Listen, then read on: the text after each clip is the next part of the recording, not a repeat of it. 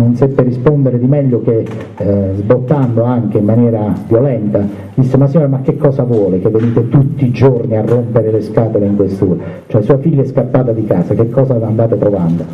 E io me lo ricordo come fosse ieri, vedi mia madre chinarsi, poi afferrare la scarpa e lanciarla con forza al questore. L'ho presa, eh, cioè, direttamente in fronte, cioè, la, la, scarpa arrivò a segno, quindi immaginate la reazione non solo stupita ma... Eh, imbufalita, tant'è che arrivarono gli agenti per, perché il questore cominciò a urlare, a sbraitare, e minacciò di farci arrestare, insomma, per, per, dirvi il clima, il clima che si respirava e, e, e con chi e con, contro cosa dovevamo combattere, perché Guardate, io non, non generalizzo mai e lo dico, lo dico sempre, eh, le persone, le istituzioni sono fatte di persone, eh, purtroppo eh, in questo paese sempre più spesso ci sono persone indegne a rappresentare le istituzioni, ne sono assolutamente convinto e ne ho avuto la riprova in tutti questi anni, eh, sono persone mediocri, persone insensibili, persone spesso incompetenti e purtroppo molte volte persone colluse eh, che eh, non fanno il proprio dovere. E però in questa storia forse se siamo arrivati anche, ci siamo avvicinati a una soluzione, ci sono state anche persone che hanno servito lo Stato con grande dedizione sicuramente, quindi non, non voglio mai generalizzare, sicuramente abbiamo subito eh, le peggiori storture di un, di un, sistema che non è stato in grado eh, di rispondere all'appello di una famiglia, cioè che chiedeva semplicemente verità e giustizia, cioè per un, un proprio familiare. Indubbiamente quell'episodio che ricordava Gerardo è emblematico, ma di episodi eh, non diciamo, dello, stesso, dello, stesso, tenore, ma simili in questi anni ne abbiamo dovuti subire tanti, guardate, veramente eh, non so, certe volte penso anch'io come siamo arrivati fin qua in tutti questi anni, ce l'abbiamo fatta e sicuramente eh, certo è una magra soddisfazione eh, sapere quello che purtroppo sapevamo già quella domenica del 12 settembre, cioè eh, quello che ha fatto più male sicuramente è eh, conoscere poi i particolari e penso che poi le perizie sono state su questo esaustive purtroppo, avrei voluto evitare almeno questo a mamma, insomma purtroppo chiaramente non è stato possibile perché poi di questi dettagli se ne è impadronita immediatamente l'informazione, quindi sapere anche come è morta Elisa, colpita 14 volte, quindi è, è rimasta probabilmente agonizzante ancora per per qualche minuto, insomma potete immaginare cosa, cosa, è stato per noi, anche se è quello che purtroppo immaginavamo con la ferocia, la brutalità che ormai avevamo imparato a conoscere in Danilo Estivo, e poi modalità molto simili per l'omicidio eh, di Eder Barnett, addirittura lì ha infierito ancora di più sul cadavere eh, consumando un, uh, credo, un, rito barbaro, cioè mh, è stato addirittura asportato i seni eh, deponendoli poi eh, di fianco al, al, al corpo. Quindi, forme di, di, di, brutalità terribile, credo che si sarebbe potuto evitare tutto questo se solo, se solo eh, il padre e la madre avessero dimostrato per questo ragazzo davvero amore filiale invece che un amore distorto, eh, cercando di coprire, cercando di nascondere, cercando eh, eh, di salvare il proprio figlio eh, dal, ma più che il proprio figlio io sono convinto che il padre abbia voluto semplicemente non accettare di avere un figlio così e salvare il proprio buon nome di persona, di notabile della città di Potenza, io ne sono assolutamente convinto perché non è amore filiale, io oggi ho una figlia, una bambina di, di tre anni e mi rendo conto che l'amore filiale si esprime diversamente, quindi eh, io credo che anche questo, cioè le due famiglie, la famiglia Claps e la famiglia Restivo abbiano posto la differenza tra credo quello che dovrebbe essere una famiglia vera, cioè una famiglia che ama, e una famiglia invece che è un esempio negativo per tutti, cioè la famiglia che nasconde, la famiglia che protegge in maniera distorta il proprio figlio.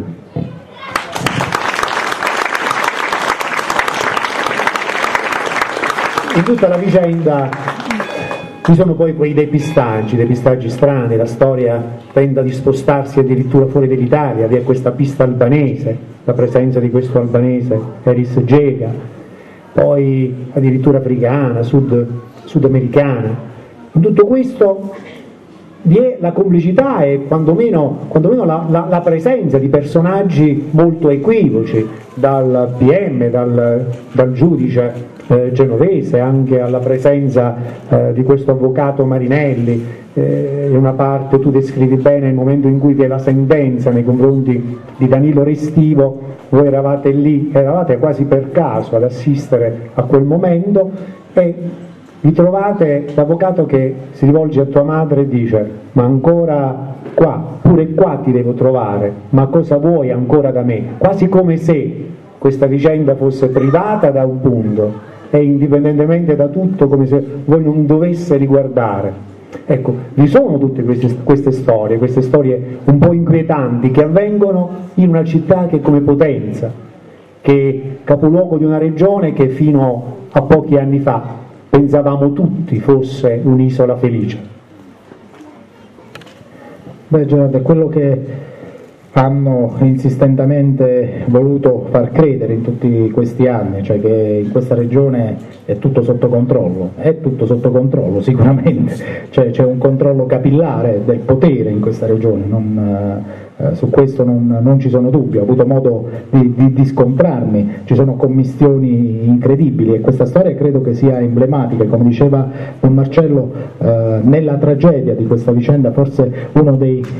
dei lati positivi è difficile trovarne, vi assicuro, però uno dei lati positivi è che forse Lisa ha fatto scoperchiare veramente una realtà eh, che era stata tenuta celata per tutti questi anni. Voglio ricordare che ci sono tantissimi casi ancora irrisolti nella nostra regione e, e spesso si percepisce la mancanza di volontà di arrivare a una verità, perché evidentemente dietro queste verità eh, ci sono affari sporchi, perché probabilmente eh, ci sono intrecci che nessuno vuole che, che, vengano, che vengano, a galla. E, e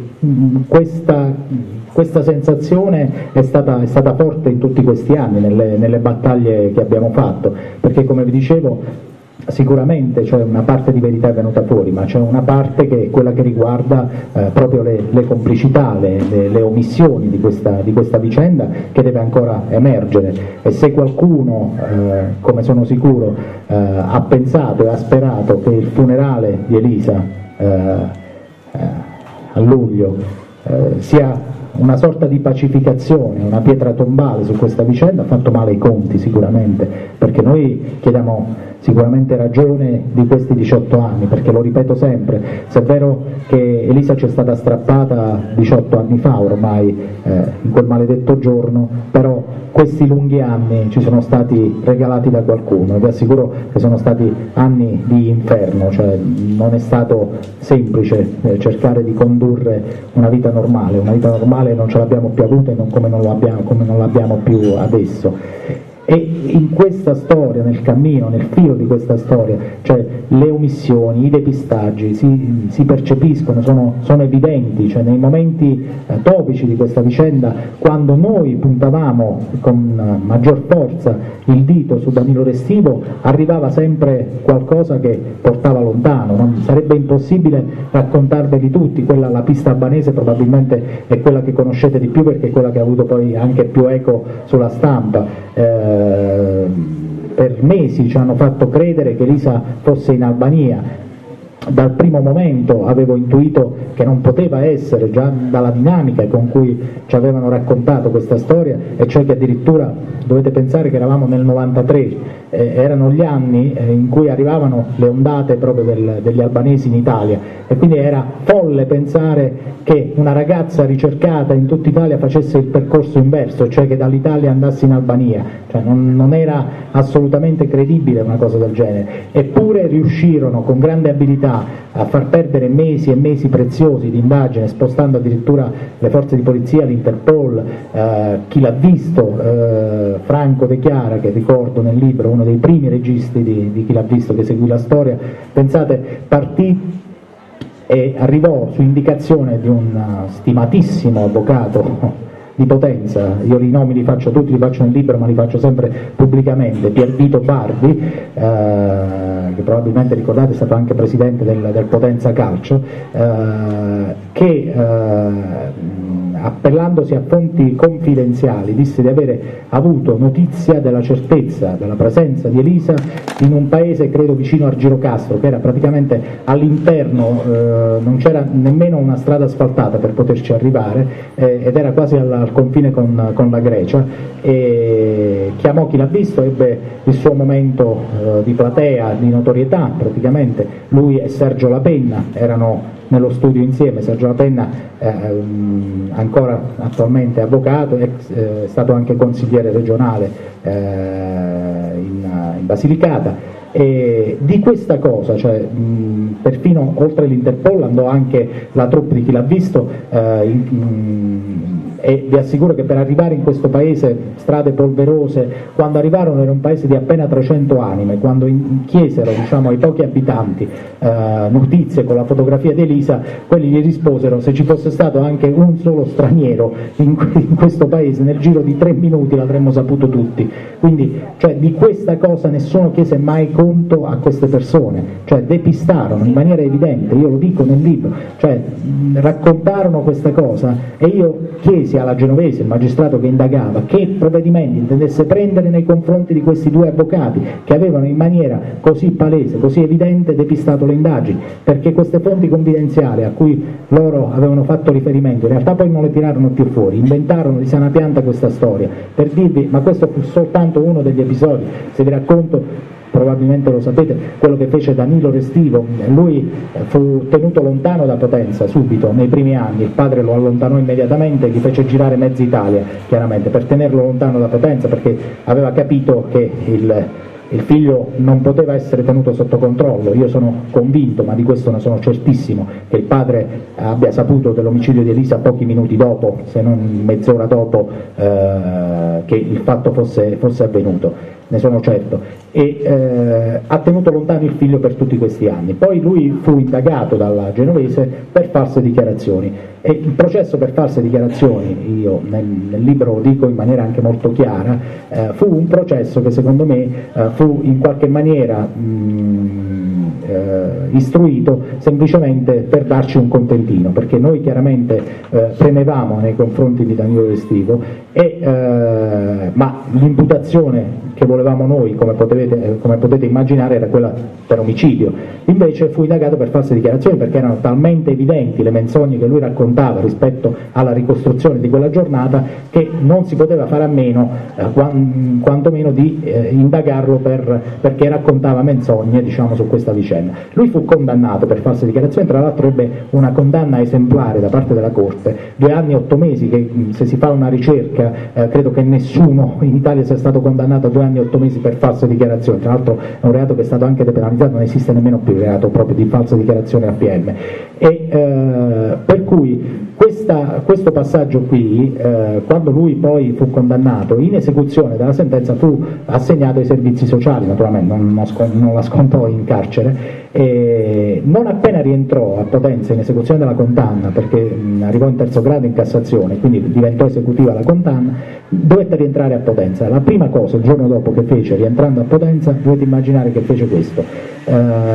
io avevo fatto fare un sito in cui era possibile lasciare in maniera anonima, in forma anonima, delle notizie e informazioni eh, su Elisa. E l'amico che me l'aveva costruito, che era un, un informatico, un pomeriggio mi, mi telefono allarmato, mi dice Gildo guarda mm, è, arrivata, è appena arrivata una mail eh, di una persona che dice di essere Elisa, dice sono in Brasile, eh, sto bene, eh, non cercatemi, state tranquilli, eh, è tutto a posto. E eh, lui che era un informatico mi disse guarda l'unico problema è che la mail non, non arriva dal Brasile ma arriva da Potenza e chiaramente io capii subito insomma, che eh, era un, un, depistaggio evidente. E eh, lui mi disse addirittura il posto da cui era partita, che era una sala internet eh, con delle postazioni mh, mm, a cui era possibile collegarsi, eh, si chiamava il Tati Club, lui mi, disse, eh, mi diede addirittura l'indicazione, siccome la mail era partita da meno di 20 minuti, immaginate io mi precipitai eh, immediatamente in, in, questa sala giochi nella speranza di trovare la persona che aveva mandato la mail. Eh, quando arrivai la sala era deserta, eh, chiesi nemmeno troppo gentilmente alla titolare di dirmi chi era collegato a quella postazione, eh, dopo le prime rimostranze riuscì a convincerla a tirare fuori il registro perché eh, non so se è ancora così, ma all'epoca eh, se volevi eh, collegarti da una postazione pubblica dovevi lasciare un documento. E immaginate quando aprì il registro la mia sorpresa leggendo il nome, Danilo Restivo, cioè lui la prima cosa che aveva fatto rientrando a Potenza era stata quella di collegarsi sia sul sito di chi l'ha visto alla pagina di Elisa e sia a questo sito che aveva nel frattempo trovato con i motori di ricerca e inviare questa mail dispacciandosi per Elisa dicendo sto bene e immaginate che eh, io immediatamente chiamai la, la polizia, eh, feci sequestrare eh, il computer da cui era partita l'email, controllarono ovviamente eh, i dati eh, che il computer aveva registrato, lui aveva fatto ossessivamente eh, ricerche su, su Elisa e sulla scomparsa più insomma, su vari siti pornografici e eh, nonostante questo praticamente eh, l'indagine dieci giorni dopo venne archiviata, stiamo parlando del 1999, quindi immaginate la rabbia, eh, man mano che noi scoprivamo sempre più elementi, quell'episodio che ricordava Gerardo, ripeto, dovremmo stare non una serata ma una giornata intera per raccontarvi 18 anni, però quell'episodio che, a cui faceva riferimento Gerardo, eh, quello in cui casualmente noi ci troviamo, mentre Danilo, immaginate, era processato per false dichiarazioni eh, rispetto alla scomparsa di Elisa, del tutto casualmente perché nessuno ce l'aveva detto, eh, negli stessi giorni lui veniva processato eh, appena un piano sotto eh, per eh, il reato di minacce e molestie. Però dovete adesso capire di che minacce e molestie si trattavano. Allora, sei mesi prima della scomparsa, queste, della scomparsa di Elisa, quindi questi erano elementi già in possesso delle autorità inquirenti, eh, lui era stato sorpreso a minacciare, l'aveva fatto per mesi interi, eh, queste studentesse universitarie che abitavano praticamente nel palazzo di fronte al suo. Lui con un potente cannocchiale riusciva a spiarle, era riuscito a procurarsi il loro numero di, di telefono e ehm, telefonava ossessivamente a queste ragazze eh, descrivendo come erano vestite, quindi loro avevano capito che addirittura riusciva a guardarle, cioè quando erano in bagno, quindi immaginate insomma anche particolari scabrosi. E eh, la cosa allucinante era che oltre diciamo, alle molestie lui di sottofondo praticamente a queste ragazze metteva ossessivamente due pezzi musicali per Elisa eh, di eh, Beethoven e eh, Profondo Rosso. Infatti dovete sapere che con, con Federica eh, siamo stati indecisi fino all'ultimo eh, perché eh, per Elisa è il titolo del libro ed era, ci tenevo, era un omaggio ad Elisa e lo volevo proprio chiamare per Elisa. E Federica mi, mi ha detto, Gildo però per Elisa e, e, quella canzone che utilizzava quel pazzo. E gli ho detto guarda Federico non, non importa cioè, eh, io credo che eh, è giusto dare un omaggio un tributo ad Elisa e quindi chiamiamolo lo stesso per Elisa non importa però per farvi capire insomma cioè, noi lo scoprimmo del tutto casualmente eh, che lui veniva processato in quel momento anche per eh, molestie e minacce. Addirittura eh, aveva fatto artigianalmente un, un pacco bomba eh, che esplodeva. Nel libro sono addirittura riportate alcune lettere che lui scriveva a queste ragazze, quindi oltre alle telefonate eh, scriveva anche eh, del, delle lettere. E, e chiaramente eh, si interpretava diversi personaggi, non, non, era mai lo stesso personaggio, ne interpretava diversi, quindi si andava dal ragazzo che scriveva la lettera d'amore eh, al ragazzo che molestava sessualmente, quindi immaginate com'era complessa la personalità di questo ragazzo. E queste erano informazioni che erano in possesso quell'episodio a cui si riferisce Gerardo è quando noi scopriamo questa cosa e l'avvocato Marinelli istrionico avvocato che tutti voi avete avuto modo di conoscere nel, nelle sue memorabili eh, arringhe difensive eh, durante il processo per false dichiarazioni eh, ci vide improvvisamente lì. Non se l'aspettava ovviamente perché era una cosa che avevano tenuto eh, nascosta e non pensavano che eh, ringrociarsi e si rivolse a mamma, io lo ricordo ancora, cioè in una maniera quasi, cioè, con una cattiveria, gli disse, eh, ma insomma, ma che cosa vuoi? Anche qui, ma che ci fai qui? E mi ricordo che mamma gli disse queste parole, gli disse, avvocato Marinelli, io mi auguro, me lo auguro, che lei non debba mai patire quello che sto patendo io. Lei ha una figlia, ha detto, io mi auguro che lei non debba mai sopportare la tragedia che sto vivendo io cioè non c'è stata nemmeno un minimo di umanità eh, da parte di, di, questi personaggi. Infatti io lo racconto, eh, quando eh, scoprimmo quel 17 marzo, poi ci arriviamo, eh, il cadavere di Elisa, nel, o quello che restava di Elisa nella chiesa della Trinità, incrociai eh, Marinelli e provai pietà provai pietà per un uomo che non era capace di provare pietà, cioè mi incrociò il mio sguardo e il, e il suo volto rimase beffardo, come se la cosa non, non, lo interessava, come se lui fosse così calato nel ruolo di avvocato difensore da non provare nemmeno un minimo di pena e di pietà per quei poveri resti che erano rimasti gettati in un angolo di una chiesa per 17 anni, cioè questa è una cosa straziante, cioè vedere un uomo che non è capace di provare un minimo di pietà è una cosa che vi assicuro vi dilania da questo punto di vista, perché non, non si ritiene possibile, cioè che non ci sia una scintilla di umanità in una persona nemmeno di fronte a una tragedia così grande.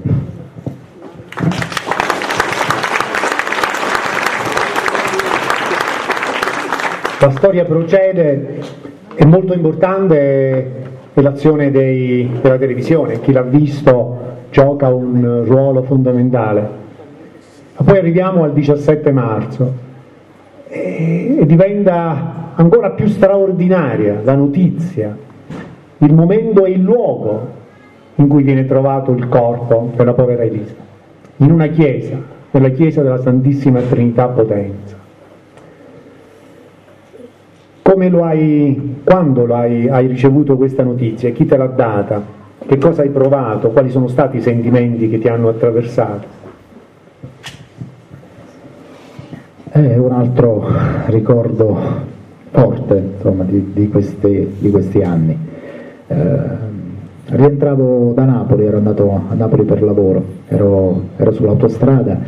e mi arriva intorno a mezzogiorno, mezzogiorno e un quarto, la prima telefonata da parte di un, di un amico giornalista, Fabio Amendolara, e, che mi dice ma dove sei? E dico guarda so, sono fuori potenza, sto rientrando. Dico perché? Dice no ma sai c'è un po' di movimento davanti alla chiesa della Trinità, ho visto un po' di polizia. E voi immaginate insomma questa chiesa come ricordavo eh,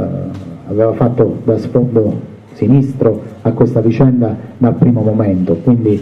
eh, immediatamente mi misi in allarme. Io poi l'ho scoperto dopo, Fabio aveva già saputo, però non, siccome avevo detto che ero in macchina, stavo guidando, non ebbe il coraggio di, di dirmelo. E, e io immaginai, siccome c'erano stati eh, nemmeno qualche mese prima alcuni sopralluoghi eh, nella chiesa, perché la Chiesa comunque è stata un perno di questa vicenda, anche se poi qualcuno deve spiegarmi perché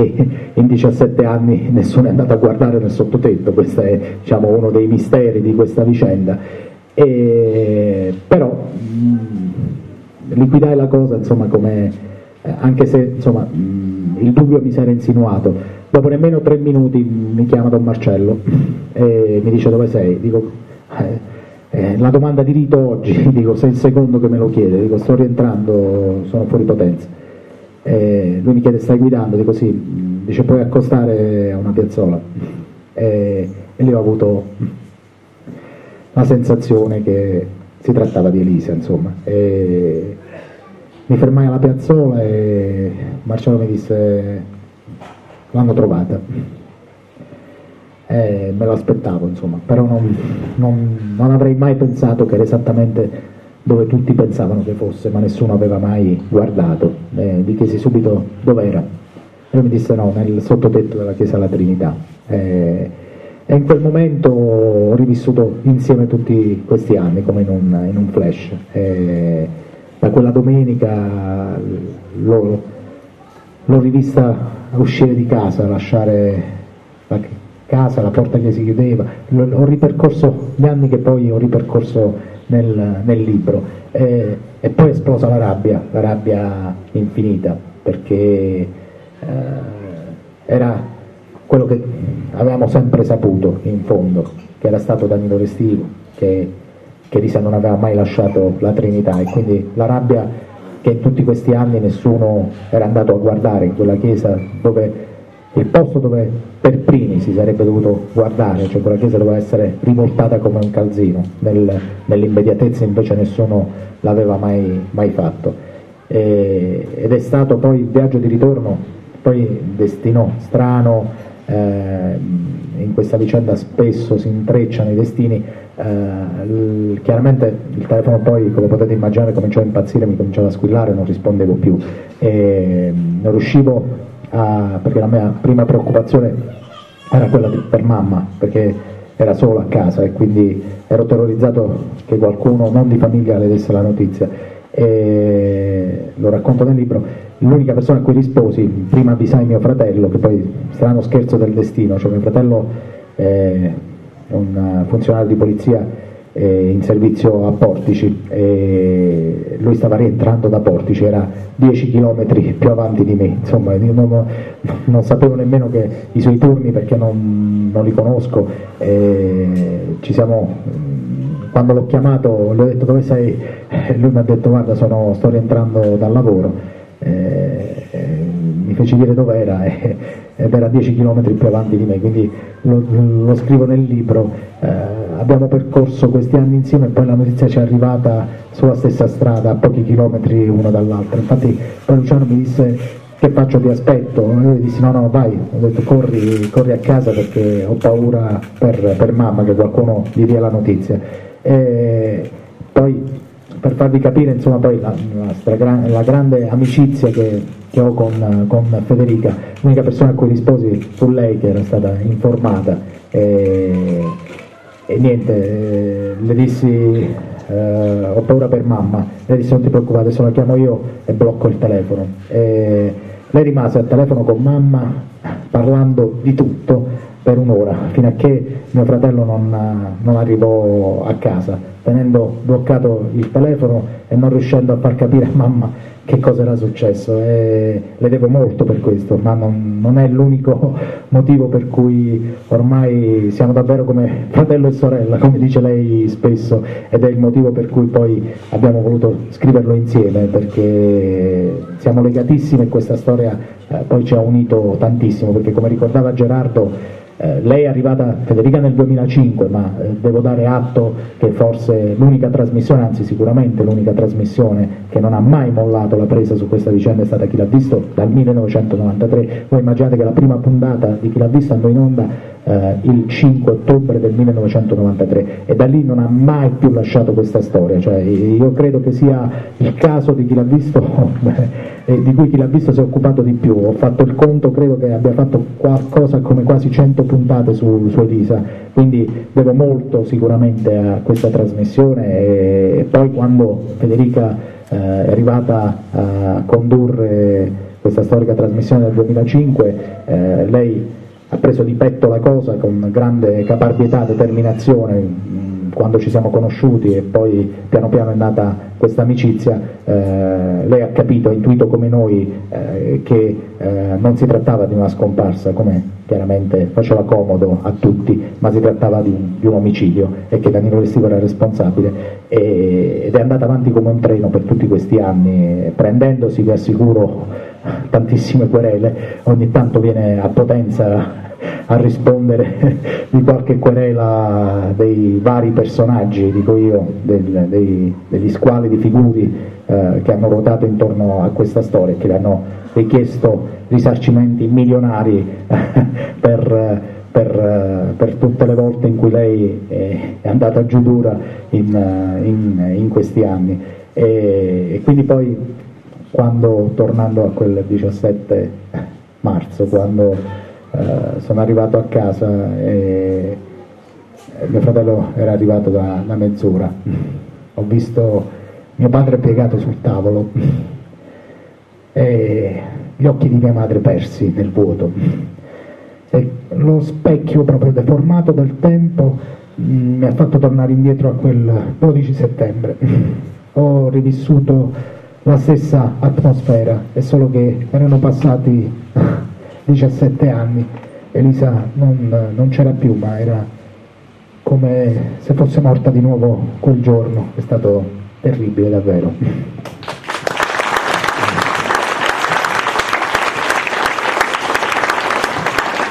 io vorrei, se mi è permesso ancora, mantenere su, questa, su questo momento, su questo ritrovamento e anche sul luogo. Qual era il ruolo di questa Chiesa a Potenza? Qual era il ruolo, permetto anche di chiederti, il ruolo del prete di cui tanto si è parlato, di Don Mimì Sabia? E come la città ha risposto anche nel momento in cui vi è stato questo ritrovamento. Credo che qui c'è una chiave anche di lettura di quello che è la società, di quella che è la nostra cultura, a volte anche, eh, chiamiamola questa cultura della mafiosità poi, sulla quale si alimenta e forse può alimentarsi anche la grande criminalità, i depistaggi, i silenzi, le omissioni, però vi sono anche delle omertà, vi sono anche delle cose che sappiamo e che a volte non diciamo. Ecco, io faccio sempre questo riferimento a Pasolini, quale diceva io so però non ho le prove. E, e quante volte noi anche nelle nostre realtà, nella nostra vita, sappiamo, non abbiamo le prove, ma spesso taciamo, spesso non diciamo, non abbiamo forse i luoghi dove parlare, non abbiamo i momenti, le opportunità, le occasioni. Ecco, io perciò ritengo questo libro importante e questa storia significativa, proprio un grande messaggio pedagogico per noi, per la nostra comunità. Abbiamo bisogno di recuperare forza, di recuperare energie e anche di speranza, perché noi ci serve la speranza in questa cosa. Ecco, allora io ti, ti richiedo, vorrei che tu eh, cortesemente, lo, chiedo questo, sul ruolo della Chiesa, la Chiesa della nostra comunità, il cuore, l'anima, dei paesi, è il tutto. Ecco, che cosa praticamente era questa Chiesa? Che cosa rappresentava realmente? oggi qual è il tuo giudizio? Eh, il mio giudizio è lapidario su quella Chiesa. Eh, la Chiesa della Trinità è nel cuore di, di Potenza, eh, era la Chiesa eh, lo è sempre stata, cioè del, del, della potenza bene, insomma, non, non, è, non, è, un mistero, insomma, era la chiesa eh, frequentata dall'establishment potentino, cioè dovete sapere che il più grande frequentatore di quella chiesa eh, è, era Emilio Colombo, insomma, era non perché è ancora vivente, ma perché la chiesa, come sapete, ormai è, è sotto sequestro. Lo legava eh, questa amicizia affettuosissima con Don Mimì Sabia, il parroco che per 40 anni ha tenuto questa, questa chiesa, una cosa stranissima perché voi sapete che eh, in genere eh, una parrocchia almeno in, soprattutto nel, nel, centro della città, eh, non viene tenuta per 40 anni dal, dallo stesso eh, prete, invece lui era intoccabile per ammissione stessa eh, dei vescovi sia eh, dell'ultimo Monsignor Superbo sia eh, di, di Monsignor Appignanesi, il vescovo che l'aveva preceduto, l'hanno messo nei verbali, non avevano il controllo di quella chiesa perché Domini non rispondeva al vescovo, Domini probabilmente rispondeva direttamente in, in Vaticano. E quindi era il suo regno quella chiesa, quella chiesa era in, uh, intoccabile e l'atteggiamento di Don Mimì lo racconto nel libro, eh, vi potrei raccontare mille episodi, eh, uno fra tutti, eh, nel, in occasione di un anniversario del 12 settembre eh, chiedemmo come iniziativa proprio di, di, di solidarietà ma anche come segnale da parte di una chiesa perché l'odore di parrocchia in questa storia c'è sempre stato, si percepiva, era evidente e chiedemmo un segnale forte, cioè di far suonare tutte le campane eh, il 12 settembre. L'unico che si rifiutò fu Domini Sabia, le campane della Trinità non, non suonarono. Io dico sempre, eh, ma questo è stato solo uno degli episodi, con mamma fu sempre sgarbato, lo, lo racconto eh, nelle, nelle, pagine del libro, eh, impedì spesso eh, che qualcuno eh, andasse a perquisire la chiesa, cioè, l'ultima volta quando ci fu la perquisizione nel 2008, quando andarono poco prima della sua morte, perché lui è morto nel eh, marzo del, del 2008 e andarono qualche mese prima della sua morte eh, con eh, i georadar praticamente che erano delle apparecchiature sofisticatissime eh, in grado di rilevare eh, all'interno eh, di mura e di, anche di cemento armato eventuali resti umani. E intervenire direttamente il vescovo per consentire eh, l'accesso eh, agli ufficiali di polizia e alla scientifica che doveva entrare con quei macchinari. Quindi voglio dire, è chiaro, il segreto se ce l'aveva se l'è portato nella tomba, lo dico sempre, però mh, la cosa strana, la cosa eh, singolare eh, è che nel, negli ultimi anni, eh, tant'è che nel 2008 vanno a verificare nel, nella Chiesa della Trinità, purtroppo anziché salire eh, fino al sottotetto della Chiesa, eh, vanno giù nel nel, nelle cripte che erano sotto la chiesa e di questo non mi sento nemmeno di fare un rimprovero a, a chi nel 2008 eh, fece questa scelta perché l'immaginario ovviamente collettivo fa pensare a un corpo che può essere nascosto ovviamente in una cripta, non, non, non certo chiaramente eh, nel, nel, sottotetto. Certo se qualcuno nel 93 fosse andato immediatamente, come io quella domenica pomeriggio, eh, entrai nella chiesa, mi fece aprire di forza la chiesa perché poi Domini Sabia,